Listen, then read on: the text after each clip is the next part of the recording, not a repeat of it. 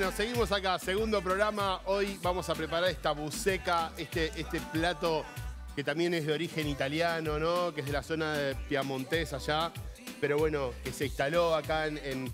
En, realidad es un plato que se hace en todos los países, eh, porque todos tienen su receta del estómago. ¿De dónde sale la buceca? Es una de las partes del estómago de la vaca. Eh, y de ahí se fue haciendo con, los franceses le dicen las vísceras y también tienen su plato. Eh, y acá entre Argentina y Uruguay crearon esta buceca, ¿sí? es parte uruguaya y parte argentina, que, es, esta cazuela, que podemos decir que es una cazuela con el mondongo, con el estómago del vacuno. Así que eh, es un plato que, es como muy controvertido, ¿no? Está, al que le gusta le encanta.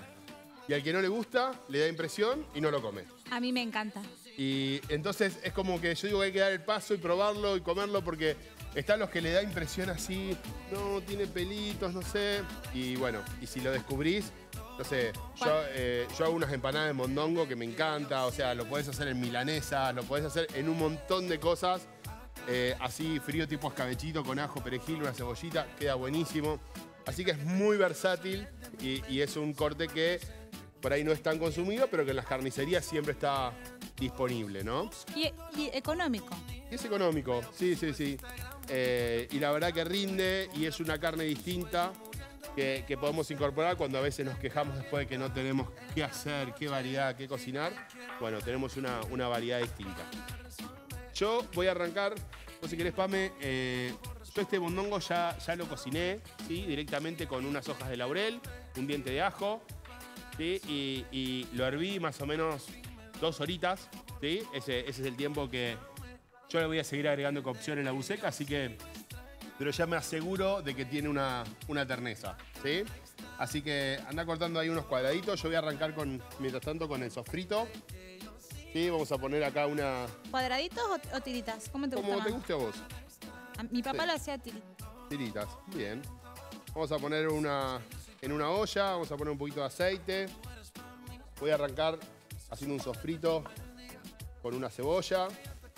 ¿Sí? La vamos a hacer un doble este lado. Es buenísimo cuando eh, esta parte de la, de buceca se le llena de salsita y te la comes. Sí. Y vos sabés que el plato, tradicionalmente, o sea, lo que lleva, se acompaña con legumbres. ¿Sí? Se puede acompañar con lentejas. Hay quienes lo hacen con, con con porotos. Eh, a mí me encanta y para mí, no sé, es por receta familiar y tradicional, siempre le pongo garbanzos. Es un momento donde, donde siempre uso los garbanzos y porotos, un mix de los dos. Pero en realidad es válido con, cualquier legumbre, ¿sí? Si tenemos arvejas, arvejas secas, ¿sí? O arvejas frescas también quedan muy bien.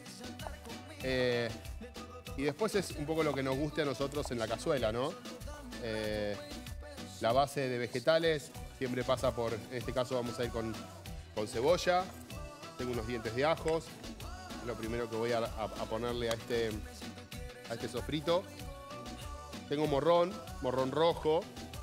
¿sí? Eh, un poquito de zanahoria. ¿sí? Es como si hiciéramos una cazuela. ¿sí? Esta semana vamos a estar trabajando bastante con, con comidas de olla, ¿no? Porque tenemos como los argentinos una, costumbre de, que nuestros platos típicos tienen por ahí. Vamos a hacer la humita.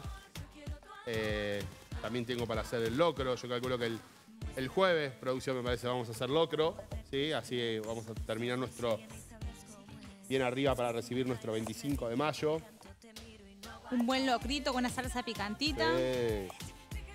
Y vamos a hacer pastelitos. ¿Qué podemos hacer, Pame? Eh, empanadas, ¿no? También las empanadas criollas y ahí vamos a ver em, si... Empanadas calientes para las viejas sin dientes. Para las viejitas sin dientes. Qué linda esa época, ¿no? Cuando íbamos a los actos y, teníamos que... Nos pintaban con carbón la carita. ¿Buenas de participar en los actos? Sí.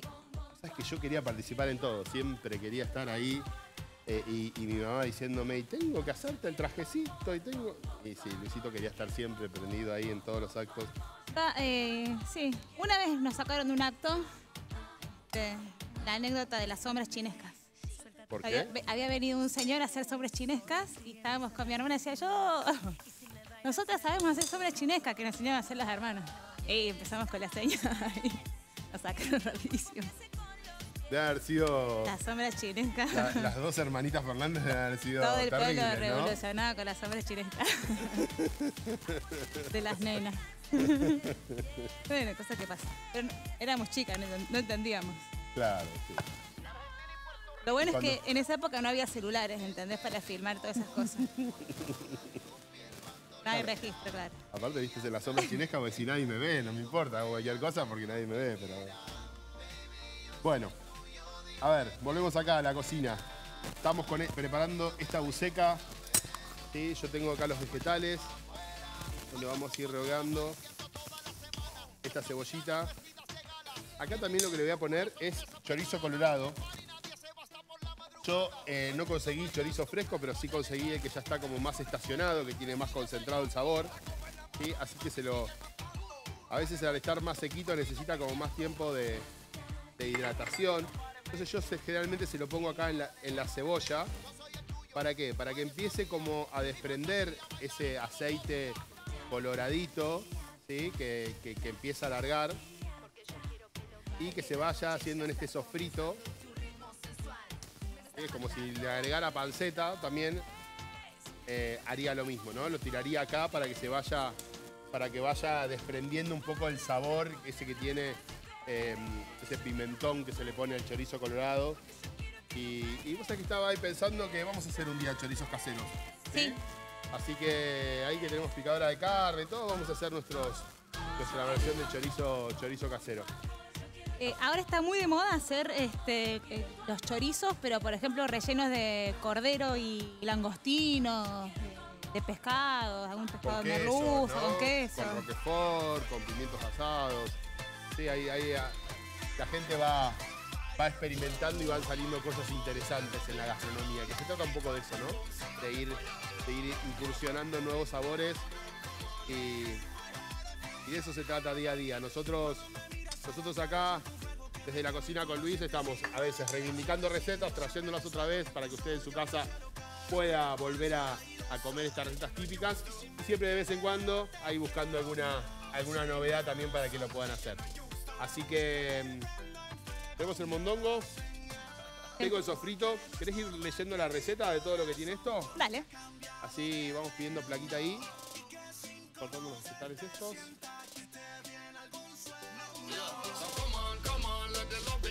Bien, para esta buceca criolla le vamos a poner un kilo de mondongo, una cebolla grande, una zanahoria, un pimiento rojo, una papa grande, una lata de garbanzos, una lata de porotos. Después, un puré de tomate, cuatro dientes de ajos, un chorizo colorado, una salchicha parrillera, sal, pimienta y perejil fresco. Perfecto. Tenemos nuestros. Acá tenemos el tomate. ¿Querés pelar esta? Vamos a pelar la papita. La podemos poner sin. con piel también. Sí, pero. La vamos a pelar ahí. Miren, acá va lo que les decía, ¿no? El chorizo empezando a alargar este. eh, a veces las especies o los concentrados, cuando son chorizos secos, o, o, mm, en este caso, o las pancetas, por ejemplo, necesitamos que en los sofritos desprendan todo el sabor, ¿no? Y se cocinen. Si lo tirara en un medio líquido, a veces por ahí es como que le cuesta más eh, lograr desprender su aroma, ¿no? Así que miren, ya se va sintiendo como ahí. Yo le voy a incorporar este pimiento rojo. También va a ayudar a darle sabor. La cazuelita de hoy. ¿Y te parece, Pame, que mientras seguimos haciendo este sofrito y lo vamos esperando, y vos pelando las papas, y yo voy a cortar la salchicha, ¿nos vamos a un corte? Nos vamos a un corte, pero antes te digo un aro. Vamos, nos vamos con un aro aro. Nos vamos con un aro, aro, Aro, aro, aro, aro, aro. Aro, aro, aro, aro. De la punta de aquel cerro viene bajando una chancha con cría. Y en el suspiro decía, eso me pasa por no tomar la pastilla. Espectacular, espectacular. eh.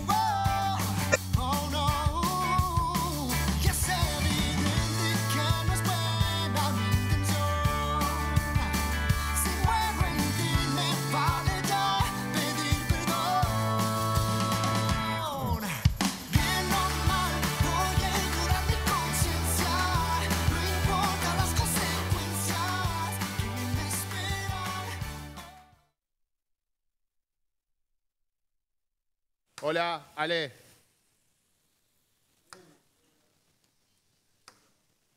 ¿Por qué estaba, estaba muteado, pollo? Cuando me digas volvemos, ¿eh? Ok. Está bien. Estabas hablando como loco malo, Luis. Sí, me estaba dando bien arriba. ¡Eh, vamos, la semana de mayo! Nos mató el aro, ¿qué querés? ¿Qué te? Dale. Era, era el. Organicemos un poco el